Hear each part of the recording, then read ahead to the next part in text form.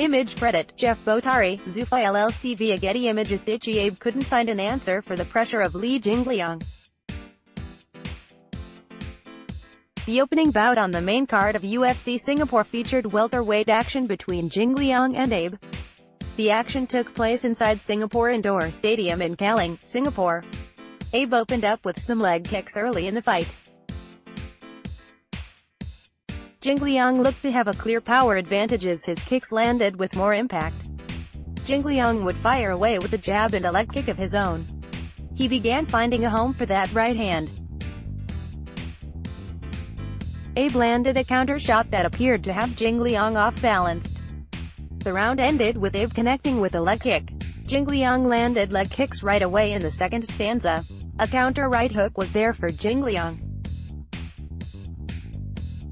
Abe looked for a hook, but was countered with a left hand. Jingliang had Abe stumbling with a right hand. Abe connected with the right hand over the top. A clean right hand found the target for Jingliang. Abe was nailed with a kick to the body.